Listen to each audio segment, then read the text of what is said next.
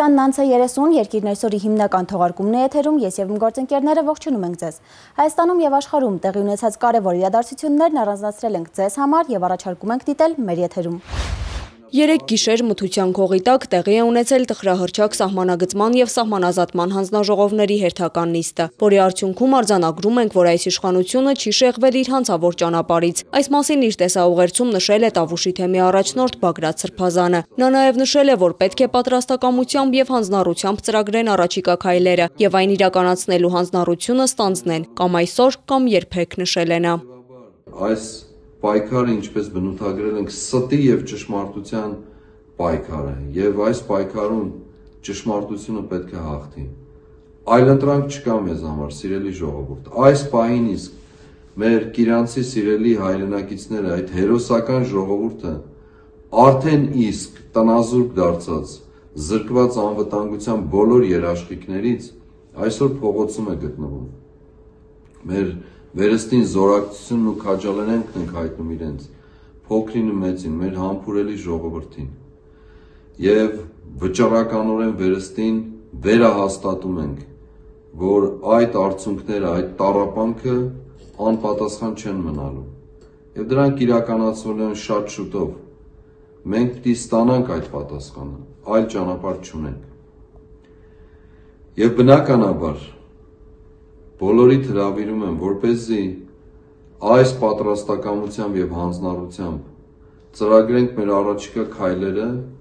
եւ այն իրականացնելու հանձնառությունը ստանձնենք։ Մեզ համար, ինչպես ասացի, այլընտրանք չկա, այլընտրանք չի մնացել։ Կամ այսօր, կամ երբեք։ Մենք պիտի ազատագրենք մեր հայրենիքը։ Պիտի ազատագրենք թշնամական թելադրանքներից պարտադրանքներից, ծաղրանքից, նվաստացումից, ստորացումից եւ այս ճանապարհով մենք պիտի կանխենք նաեւ հետագա բոլոր ողբերգությունները, որ պատահելու են մեզ։ Մեր ճանապարհը օրտնված է եւ Աստված կառաջնորդի մեր կյանքը դեպի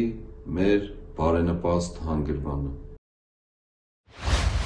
Հայաստանը պետք է քննարկի երկու կարևոր հարց։ Առաջինը՝ Ադրբեջանի նախագահի հայտարարությունները որքանով են օրինական, ասում է Հայաստանի առաջին մարդու իրավունքների պաշտպան Լարիսա Ալավերդյանը, նկատելով Ադրբեջանը ոչ օրինական ճանապարհով կայացած պետություն է։ Հայաստանը պետք է սա հստակ ու հիմնավորված պնդի ու ներկայացնի միջազգային բոլոր հարթակներում։ Ադրբեջանական հանրապետությունը ճանաչվել է մասնակիորեն միայն սովետական միության սահմանների մեջ, համարվելով սովետական միության կազմում գտնվող 15 հանրապետություններից մեկը, սակայն հրաժարվել է սովետական միության եւ սովետական Ադրբեջանի իրողությունից, հայտարարելով իրեն ադրբեջանական դեմոկրատական հանրապետության իրավահաջորդը, որի գոյության տևողությունը եղել է 1918 թվականից մինչև 20 թվականը։ Ազգերի լիգան հիմնավորել է չի կարող ճանաչել մի պետություն, որը ունի իրեն նախորդող որևէ միավոր եւ ունի նկարտումներ այնպիսի տարածքների, որոնք պատկանում են մինչ իր գոյությունը տարբեր կայսրությունների։ Այսինքն Ադրբեջանն իրեն հայտարարել հայտարարել է չճանաչված պետության իրավահաջորդ։ Ադրբեջանը այսօր գնում է ավելին, քան դեմոկրատական ադրբեջանական հանրապետությունը, որովհետև այն քարտեզի վրա, որով հանդես է եկել ադրբեջանական դեմոկրատական հանրապետությունը, ազգերի լիգան Հայաստան գոյություն ունի։ Նկատենք, որ այս առումով Ադրբեջանի ցանկացած հայտարարություն պետք է գնահատենք որպես ոչ օրինական ձևով կայացված պետության ղեկավարի հայտարարություն, ասում է Ալավերդյանը։ Բոլոր գործողությունները եւ ստորագրությունները հայտարարությունները, որը դրվել է Հայաստանի անունից Նիկոլ Փաշինյանի կողմից, դրանք ոչ լեգիտիմ են եւ մենք պարտավոր ենք այդ բոլորը չեղյալ համարել։ Մենք պետք է սկսենք ոչ թե 0-ից, մենք պետք է սկսենք այն պատմական Հայաստանից, որը մերժվում է, պատահական չի մերժում։ Անդրադառնալով Բագրատ Սրբազանի առաջնորդած շարժմանը, Ալավերդյանի դիտարկմամբ այն գալիս է հստակեցնելու, որ դեմ է Հայաստան պետության ոչնչացմանը։ Առաջին միպը համաձայն է բոլոր այն թեզերի հետ, որոնք ճանապարհային քարտեզ ցույց կտան։ Չպետք է փնտրենք մեր այս վիճակի պատճառները դրսում, որովհետև մենք այդպես չենք գտնելու ելքը պատճառները այս վիճակի մեջ որ մենք հայտնվել ենք մեր մեջ են ու ուժը որը մենք ունենք պետք է դրանով մենք հաղթահարենք այն եղած պատճառները։ Ադրբեջանի ու Հայաստանի իշխանությունները գործում են սինխրոն։ Նման են խոսույթները, նպատակները, գաղափարները, գործելավոճը։ Պատահական չէ նաև այն, որ այսօր թիրախավորվում է եկեղեցին։ Պիտակավորում են հանուն իրենց հողի ու ջրի պետականության, արժանապատվության, ազնիվ պայքարի դուրս եկած մարդկանց, ասում է ընդդիմադիր падգամավոր Գառնիկ Դանելյանը։ Հայրենիքից թանկ որևիցե մի բան չկա։ Ոչ, որևիցե մի արժեք գոյություն չունի, որ համեմատվի հայրենիքի, հայերի հողի ջրի հետ։ Մարդիկ իրանց ամենաթանկը, ամենանվիրյալը իրանց զավակներին են հայրենիքի համար պատրաստ զոհեն։ Իրանց կյանքն են պատրաստ զոհեն։ Ինչի մասն է խոսքը։ Սրանք անհայրենիք մարդիկ են։ Սրանց համար այնքան խորթ է հայրենիք հասկացողությունը, արժանապատիվ հասկացողությունը, հող ու ջուր հասկացողությունը, պետականություն հասկացողությունը։ Պատգամավորի կարծիքով իշխանություններն ունեն մեկ նպատակ՝ վերջ դնել Հայաստանի ինքնիշխանությանն ու պետականությանը։ Ղեկավարությունը վախենում է Ադրբեջանի ղեկավարության դեմքին նայ։ Կապտում են։ Ի վիճակի չեն այս մարդիկ։ Ինչի մասն ինչի մասնա խոսքը։ Այս մարդիկ չեն կարա լիարժեք ոչ բանակցեն, ոչ խոսան, ոչ պատասխան տան, ոչ հակադարձեն Ադրբեջանին։ Տեսեք, մեկին փողոցում բռնեն, այդ մարդուն կխոշտանգեն։ Ա այսօր կամ մի հատ մեկը ասենք իրանց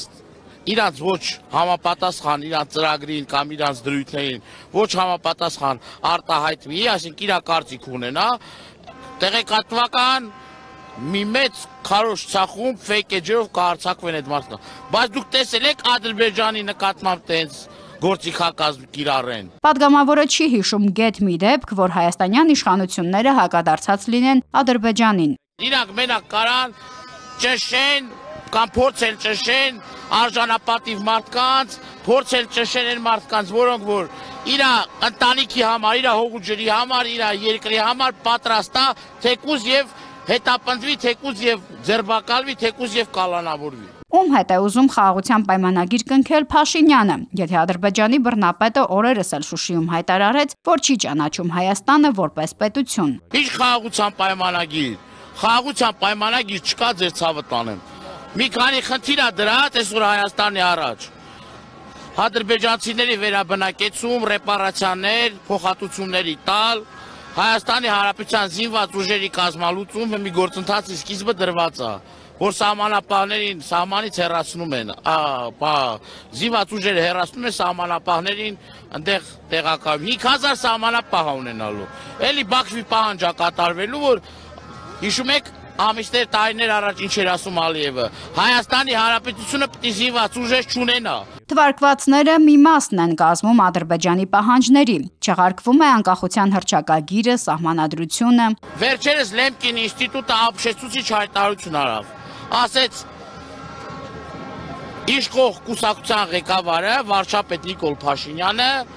ժխտել է ցեղասպանությունը։ Այդ չի ասում ընդդիմությունը։ Լեմկինի ցեղասպանության ինստիտուտը ապշահարը եղած էր, որ Հայաստանի Հանրապետության իշխանությունները փաստորեն ժխտողական քաղաքականություն են վարում։ Ժխտում են ցեղասպանությունը։ Դուք հասկանում եք, եվրոպական երկրներում օրենք են ընդունում, որ ցեղասպանությունը հերքողը պետք անպայման պատժի արժանանա, քրյորեն հետապնդվի, Հայաստանի Հանրապետության իշխանությունները կասկածի տակ է դնում։ Նարնե Ղուկասյան, Հարություն Ապրեսյան, Երկիրն այսօր։ Կառավարության շենքի բոլոր մուտքերի մոտ տեղակայված են եղել հարյուրավոր ոստիկաններ։ Տավուշը հանուն հայրենիքի շարժման անդամներն ու կողմնակիցները կառավարության շենքի մոտ են գնացել, հայտնելու իրենց անհամաձայնությունը Հայաստան-Ադրբեջան սահմանի սահմանազատման հանձնաժողովների կատարած աշխատանքներին։ Ավելի վաղ Տավուշի թեմի առաջնորդ Բագրատ arczepiskopos Գալստանյանը Սուրբ Աննա եկեղեցու մոտ հայտարարել էր, որ այսօր կա կառավարության նիստ։ Այնուհետև Տելեգրամյան ալիքով հայտնեցին, որ առավոտյան ժամը 10:30-ին հավաքվելու են կառավարության շենքի մոտ։ Այսօր հավաքվել ենք կառավարության շենքի մոտ մեր բողոքի ձայնը բարձրացնելու։ Իշխանության պարագլուխը վախերի մեջ է, ամեն քայլափոխին իր հետ բազմաթիվ ոստիկանական ուժեր է տանում։ Երեք իշխանություններն ամբողջ ուժային համակարգը կենտրոնացրել էին օպերայի շենքի մոտ եւ չէին թողնում մարդկանց ազատ տեղաշարժվել։ Նույն սցենարը կրկնվում է այսօր կառավարության շենքն ամբողջությամբ պաշարված է։ Իրենք իրապես վախենալու շատ բան ունեն, քանի որ գործում են Հայաստանի Հանրապետության շահերի դեմ, քանի որ ամեն օր ստորագրվում է փաստաթուղթ համաձայն որի Հայաստանի այս հասկամային բնակավայրը հանձնվում է Ադրբեջանին, ասել է Տավուշը հանուն հայրենիքի շարժման առաջնորդներից Գառնիկ Դանիելյանը։ Փակ են եղել կառավարության շենքի գլխավոր եւ հետին մուտքերը, ինչպես նաեւ երկու կողմից շրջափակված է եղել Մելիք Ադամյան փողոցը։ Նշենք նաեւ, որ սրան զուգահեռ Կիրանցի բնակիչները փակել են Հայաստան-Վրաստան միջպետական ճանապարհի Կիրանցի հատվածը։ Նրանք բողոքում են 3 հրապարակված սահմանազատման արդյունքներից, ինչպես նաեւ պահանջում են հանդիպում Հայաստանի Հանրապետության մարդու իրավունքների պաշտպան Անահիտ Մանասյանի եւ եւ մարզպետ Հայկ Ղալումյանի հետ։ Նշենք նաեւ, որ ԱԱԾ-ից գնացել են յուղ հասկանալու համար, թե ըստ քարտեզների բնակիչներից ում տունն է անցնելու Ադրբեջանին։ Այսօրվա կառավարության նիստում Նիկոլ Փաշինյանը հայտնել է, որ Հայաստանի եւ Ադրբեջանի սահմանապահները կտեղակայվեն առաջիկա 8-ից 9 օրերի ընթացքում։ Գիրանցի առավել զգայուն հատվածներում սահմանապահները կտեղակայվեն ավելի ուշ, քանի որ այնտեղ որոշ մանրամասներ ենթակա են լրացուցիչ ճշգրտման։ Փաշինյանի խոսքով Գիրանցում կան խնդիրներ, որովհետև կողմերը ворթեգրել են սահմանն անցնում է այդ տեղով, որտեղով անցնում է սկզբունքը։ Վարչապետի երեկվա տարածած հայտարարությունում մասնավորապես նշվում էր, որ Կիրանցից Ադրբեջանին է անցնելու երկու տուն եւ փոխարենը երկու ադրբեջանական անվանումներով գյուղերից մոտ 30 տուն անցնելու է Հայաստանին։ Ոսկեպարի եկեղեցին եւ 25 հեկտար հողեր, որ մինչ օրս մեր վերահսկողության տակ չեն եղել, մնալու են Հայաստանին։ Գառնիկ Դանիելյանը այսօր լրագրողների հետ զրույցում նշել է, որ դա սուտ է եւ նշել, որ այդ գյուղերը եղել են մեր վերահսկողության տակ։ Մարդը 4 գյուղ իր հողերով տալիս է, դա ներկայացնում է որպես հաջողություն։ Որպես հաջողություն է ներկայացնում։ Ինչի մասն է խոսքը։ 4 գյուղ տալիս է 25 հեկտար վերցնում։ ուրա 25 հեկտար որտեղ կանդե։ Ադրբեջան Ադրբեջանը հող չի տալիս մեզ, ասում է չկա ցես տալու որևիցե մի բան չկա։ 25 հեկտար ումից է վերցնել։ Հատե Հայաստանի սահմանն է, մեկի Ադրբեջանի սահմանն է։ Պետք է Ադրբեջանից վերցնի, չէ։ Դե տենց են ասում, Ադրբեջանից։ Մի րոպե, պետք է Ադրբեջանից վերցնի, չէ։ Ադրբեջանը տալու հող չունի, ումից է վերցնում, ես ուզում հասկանալ։ Հայաստանի Հանրապետության անունից սահմանագծման եւ սահմանազատման պարտավորություններ կարելի է ստանձնել միայն պատշաճ կերպով վավերացված միջազգային պայմանագրով։ Հակառակ դեպքում դա ապօրինի է։ Այս մասին այսօր կառավարության մոտ լրագրողների հետ զրույցում ասել է Հայաքվե նախաձեռնության համահիմնադիր Ավետիք Չալաբյանը։ Նրա խոսքով 3 Հայաստանի եւ Ադրբեջանի փոխվարչապետների ստորագրած արձանագրությունը բեկանելուն կարող են հասնել միայն իշխանապողության միջոցով։ Այդ արձանագրությունը պետքա շատ արագ շտաբ կարգով բողոքարկել համանդրական դատարան։ Մեր խորհրդանական ընդդիմությունը պետքա օգտվի իր իրավասությունից, դիմի համանդրական դատարան, որpիսի այդ արձանագրությունների համանդրականությունը կամ իրականում հակասահմանադրականությունը ապացուցվի համանդրական դատարանում։ Դա արագ մեխանիզմն է, որը պետք է այսօր իրականացնել։ Միջազգային պարտավորությունը պետք է բավերացվի եւ ազգային ժողովի կողմից եւ ընդունվի համաժողովրդական հանրակրվեի միջոցով։ Ոստի այն պաշտոնյաները, որոնք այդ փաստաթղթերը ստորագրում են, խախտում են սահմանադրությունը եւ ենթակա են պատասխանատվության, նշում է Չալաբյանը։ Սիլվի Մուրադյան, Երկիրն այսօր։ Հայաստանի եւ Ադրբեջանի սահմանազատման պետական հանձնաժողովները Հայաստանի փոխվարչապետ Մհեր Գրիգորյանի եւ Ադրբեջանի փոխվարչապետ Շահին Մուստաֆաևի նախագահությամբ հանդիպել են 9-րդ անգամ։ Տեղեկությունը հայտնում է Հայաստանի արտգործնախարարությունը։ Նշվում է, որ հանդիպումը կայացել է Հայաստանի Հանրապետության եւ Ադրբեջանի Հանրապետության սահմանին։ Հաշվի առնելով տեղանքում գեոդեզիական չափումների արդյունքում հստակեցված կոորդինատները, ԽՍՀՄ զինված ուժերի գլխավոր շտաբի 1976 թվականի տեղագրական քարտեզի համաձայն, որը հերթապահության ընթացակ համակարգի անցել 1979 թվականին, կողմերը համաձայնեցրել են անմիջականորեն Բաղանիս, Բաղանիսայրում, Ոսկեպար, Աշաղա, Ասկիպարա, Կիրանց, Խեյրումլի եւ Բերքաբեր, Կզլ Հաջիլի բնակավայրերի միջև սահմանագծի առանձին հատվածների համատեղ կազմված արձանագրություն նկարագրությունը խորհրդային միության փլուզման պահի դրությամբ գոյություն ունեցող իրավաբանորեն հիմնավորված միջպետական սահմանին համապատասխանեցնելու նպատակով, ասված է հաղորդագրությունում։ Հանդիպման արդյունքում ստորագրվել է արձանագրություն։ Կողմերը պայմանավորվել են աշխատանք համակարգային կարգով համաձայնեցնել հաջորդ հանդիպման անցկացման ամսաթիվն ու վայրը։ Հիշեցնենք, որ Հայաստանի եւ Ադրբեջանի սահմանազատման հարցերով հանձնաժողովներն ապրիլի 19-ին պայմանավորվեցին սահմանազատումը սկսել Տավուշի մարզից։ Սահմանագծի տվյալ հատվածների նկարագրությունը կազմվելու է հաշվի առնելով տեղանքում գեոդեզիական չափումների արդյունքում կատարված կոորդինատների հստակեցումը, որը պետք է ավարտվի մինչև 2024 թվականի մայիսի 15-ը։ Հայաստանի վարչապետի աշխատակազմը հայտարարեց, որ Ադրբեջանն այս ամենի արդյունքում 2.5 գյուղ է ստանում, իսկ Հայաստանի Հայաստանի Հանրապետությունը անվտանգային ռիսկերի նվազեցում։ Սահմանազատումից հետո 4 գյուղերի հատվածում զինված ուժերը հետ կքաշվեն եւ իրենց տեղը կզիջեն սահմանապահ զորքերին։ Վերջին տվյալներով հայ-ադրբեջանական սահմանին արդեն 40 սահմանային սյուն է տեղադրվել։ Հայաստանի եւ Ադրբեջանի սահմանապահները կտեղակայվեն առաջիկա 8-9 օրերի ընթացքում։ Այս մասին հայտնել են Հայաստանի վարչապետի աշխատակազմից անդրադառնալով Հայաստանի եւ Ադրբեջանի սահմանազատման հանձնաժողովների հանդիպման արդյունքում ձեռք բերված պայմանավորվածություններին։ Երկու կողմերի սահմանապահները Կիրանցի առավել զգայուն հատվածում ավելի ուշ կտեղակայվեն, որովհետեւ այդտեղ որոշ մանրամասներ ենթակային լրացուցիչ ճշգրտման, նշել են վարչապետի աշխատակազմից։ Կիրանցի 3 կոորդինատները տեղորոշվել են համակարգչային եղանակով եւ սյուները կտեղադրվեն ավելի ավելի ուշ։ Կիրանցի համար նպաստավոր լուրը մասնավորապես այն է, որ մոտ 25 հեկտար գյուղատնտեսական նշանակության հողեր, որոնք վերջին 33 տարում անհասանելի են եղել Կիրանցի համար, կվերադարձվեն գյուղին։ Սահմանի նկարագրությունն այնպիսին է, ինչպիսին կա 1976 թվականի քարտեզով հայտնել են վարչապետի աշխատակազմից։ Ինչ վերաբերում է ոսկեպարի Սուրբ Աստվածածին եկեղեցուն եւ ոսկեպար բաղանիս խորհրդային ժամանակների ճանապարհին, ապա երկու հարցն էլ լուծվել են լավագույն ձևով։ Ճանապարհն ամբողջությամբ Հայաստանի տարածքում է եկեղեցին նույնպես եւ Սահմանագիծը գտնվում է թե ճանապարհից, թե եկեղեցուց բավականին հեռու։ Ճանապարհի տեղափոխման խնդիր, այո, առաջանալու է, որը հնարավոր է իրականացնել 2-ից 3 ամսում։ Վարչապետի աշխատակազմը նաև պարզաբանել է, թե ինչու է սահմանազատման համար ընտրվել ԽՍՀՄ զինված ուժերի գլխավոր շտաբի 1976 թվականի քարտեզը։ Դա ըստ էության խորհրդային միության փլուզման պահին դե յուրե իրավական հիմք ունեցող քարտեզն է։ Հայաստանի կառավարության համար սկզբունքային է եղել մոտեցումը, որ Հայաստանի եւ Ադրբեջանի միջև ոչ թե նոր սահման է ստեղծվում, այլ վերարտադրվում է ԽՍՀՄ փլուզման պահին դե յուրե գոյություն ունեցած սահմանը։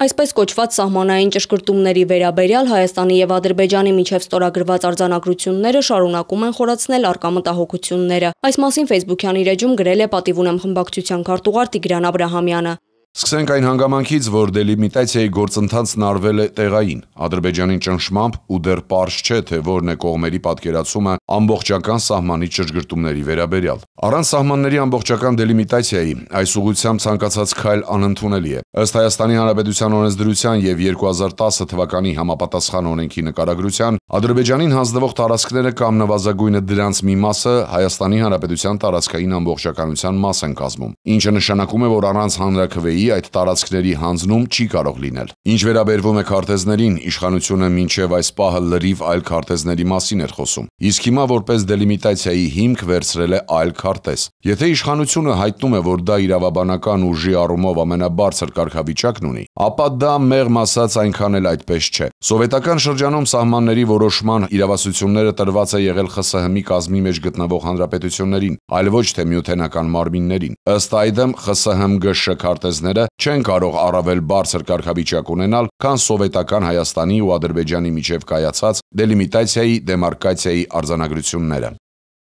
Ըստ Աբրահամյանի տարածքների հանձման հարցում շտապողականություն դրսևորող Հայաստանի իշխանությունը պետք է դեմարկացիայի շրջանակներում առաջ մղի կենսական անհրաժեշտություն համարվող տարածքների Հայաստանի կազմում պահելու հարցը փոխանակումների միջոցով, որն ամբողջությամբ համապատասխանում է միջազգային պրակտիկային, նախադեպերին եւ որպես գործընթաց դեմարկացիայի տրամաբանությանը հավելել է Աբրահամյանը։ Արցախի նախկին պետնախարար Ռուբեն Վարդանյանի կալանքը Բաքվի դատարանը 5 ամսով երկարաձգել է։ Տեղեկությունը հայտնում են ադրբեջանական լրատվամիջոցները։ Նշենք նաև, որ ավելի վաղ նման որոշում էր կայացվել Արցախի նախկին նախագահներ Արայիկ Հարությունյանի, Բակո Սահակյանի, Արկադի Ղուկասյանի, ազգային ժողովի նախագահ Դավիթ Իշխանյանի, նախկին արտգործնախարար Դավիթ Բաբայանի, բարձրաստիճան զինվորականներ Դավիթ Մանուկյանի եւ Լևոն Մնացականյանի նկատմամբ։ Հիշեցնենք, որ բոլոր նրանք ձերբակալվել են 2023 թվականի սեպտեմբերին։ 2024 թվականի հունիսի 11-ից մինչև օգոստոսի 30-ը ներառյալ Հայաստանում կանցկացվեն պահեստազորի առաջին խմբի առաջին եւ երկրորդ կարգերում հաշվառված շարքային, ենթասպայական եւ սպայական կազմերի պահեստազորայինների վարժական հավաքներ։ Որոշումն ընդունվել է Հայաստանի կառավարության այսօրվա նիստի ժամանակ։ Վարժական հավաքներին կներգրավվեն մինչև 5151 քաղաքացի, որոնցից 4647-ը շարքային եւ կրծերի ենթասպայական կազմերի, 134-ը ավակ ենթասպայական կազմի, 370-ը սպայական կազմի պահեստազորայիններ, համազորային մոտոհրաձգային, կապի, հետախուզական, ինժեներական եւ հրթիռահրետանային մասնագիտություններով։ Որոշումն ուժի մեջ է մտնում պաշտոնական հրապարակմանը հաջորդող օրվանից։ Բռնազավթված Արցախում Ադրբեջանը շարունակում է ոչնչացնել հաղթանակի եւ անկախության խորհրդանիշ հանդիսացող հուշարձանները։ Այս մասին գրել է Հայքի մշակութային օմբուդսմեն Հովիկ Ավանեսովը։ Նա մասնավորապես նշել է. «Հարկ ենք համարում ընդգծել, որ հայրենական մեծ պատերազմին նվիրված հուշարձանների նկատմամբ վանդալիզմի եւ գործառույթների փոփոխության բազմաթիվ դեպքեր են արձանագրվել նաեւ խորհրդային տարիներին։ Այս քաղաքականությունը ոչ միայն մշակութային ցեղասպանություն է, այլ նաեւ հոգեբանական ահաբեկչություն, հաշվի առնելով այդ հուշարձանների կարեւորությունը հայ ժողովրդի համար համար։ Մայիսի 13-ին Telegram-յան ալիքում հրապարակվել են լուսանկարներ, որոնց ուսումնասիրությամբ ակնհայտ դարձավ, որ ադրբեջանական վանդալիզմի թիրախ են դարձել Ասկերանի շրջանի Խնձրիստան գյուղի հայրենասիրական մեծ պատերազմի եւ Արցախյան պատերազմի զոհերի հիշատակը հավերժացնող հուշահամալիրը։ Մասնավորապես Ազող գյուղում պղծվել է հայրենասիրական պատերազմի եւ Արցախյան պատերազմի զոհերի հիշատակին նվիրված հուշարձանը։ Ադրբեջանը ոչնչացրել է Բերձոր քաղաքի Փարքի հուշահամալիրը, ինչպես նաև Անատոլի Զինևիչի Կիսանդրու ավերումը։ Ադրբեջանցի Վան Վանդալները ավերել են Արցախի Հանրապետության Մարտակերտ քաղաքի հուշարձան Խաչքարը, Արցախի Հանրապետության Քաշաթաղի շրջանի Աղանուս գյուղի աղբյուր հուշարձանը, որը Ադրբեջանի պետական վարչակարգի կողմից իրականացվող մշակութային ցեղասպանության զոհ էր։ Ըստ զինված հակամարտությունների ժամանակ մշակութային արժեքների պաշտպանության մասին 1954 թվականի Հաագայի կոնվենցիայի 4-րդ հոդվածի արգելված է մշակութային ժառանգության հանդեպ վանդալիզմի, գողության, կողոպուտի, յուրացման, թշնամանքի եւ հաշվեհարդարի ցանկացած գործողություն։ Առաջին արձանագրությունը Արձանագրությունն արգելում է օկուպացված տարածքներում ոչնչացնել մշակութային կամ հոգևոր արժեքները։ Ռուսաստանի նախագահ Վլադիմիր Պուտինը եւ Չինաստանի նախագահ Սի Ցինփինը բանակցություններ են սկսել Պեկինում։ Մինչ ընդլայնված ձևաչափով հանդիպումը տեղի է ունեցել նեղ կազմով շփում։ Հանդիպման սկզբում Պուտինը հայտարարել է, որ Չինաստանը Ռուսաստանի գլխավոր գործընկերն է առևտրատնտեսական ոլորտում։ Նրա խոսքով համատեղ աշխատանքի ընթացքում Մոսկվային եւ Պեկինին հաջողվել է ձեռք բերել այսպես ասած համագործակցության պատկառելի ուղեբեր։ Ռուսաստանի նախագահը հիշեցրել է, որ 2023 թվականին երկկողմ առևտրաշրջանառությունն աճել է գրեթե 1 քառորդով եւ հասել 227 միլիարդ դոլարի։ Պուտինին Պեկինում դիմավորել են համազարկերով։ Պեկինի ժողովրդական ժողովների տան դիմացի հրապարակում չինական ռազմական նվագախումբը նվագել է մերձ մոսկովյան երեկոները։ Բանակցությունների արդյունքում կողմերը կստորագրեն փաստաթղթեր։ Պուտինը եւ Սի Ցինփինը նախատեսում են նաեւ համապարփակ գործընկերության եւ ռազմավարական փոխգործակցության հարաբերությունների խորացման մասին հայտարարություն ընդունել։ Սա Վլադիմիր Պուտինի առաջին արտասահմանյան այցն է նրա նոր նախագահության ժամկետի սկզբից ի վեր։ Նախորդ անգամ նա Չինաստան էր այցելել այցելել 2023 թվականի հոկտեմբերին։ Կրթությունն ավելի գրավիչ դարձնել, աշակերտների ներգրավվածությունը բարձրացնել եւ համայնքների զարգացմանը նպաստել հնարավոր է նաեւ ստարտափի միջոցով։ Այս ամենին նպաստելու մեծ ցանկությունը Վանաձորցի Լարիսային հասցրել է Երևան։ Նա դարձել է մեկնարկիր կրթական ծրագրի մասնակից, որն իրականացնում են Հայկական on-line լրատվամիջոցների եւ լրագրողների ասոցիացիա հասարակական կազմակերպությունը եւ Մեդիամաքսը Viva MTS-ի գլխավոր գործընկերությամբ։ Լարիսան համոզված է, որ նոր միջավայրում ստացած հիմնարար գիտելիքներն ու հաջողված ստարտափ ընկերությունների փոր փորձը կնպաստեն իր երազանքների իրականացմանը։ Պետության ամրությունը հենց գալիս է կրթված լինելուց եւ լավ արժե համակարգ ունենալուց։ Դրա համար հետագայում ինչ բիզնեսներ, ինչ նորություններ որ կատարեմ, հենց լինելու են կրթական ոլորտում Ինձ է այդտեղ ինչ-որ մեթոդի խնդիր կա, որ աշակերտներին ավելի շատ ինտեգրեն դասի մեջ, ավելի հետաքրքիր ձևերով անցկացնեն դասը, ու հենց օրինակ այդ քվեստի միջոցով կրթություն ստանալը, կրթություն ստանալ չէ, քվեստի միջոցով ինֆորմացիա ստանալը ավելի հետաքրքիր, ավելի ոնց որ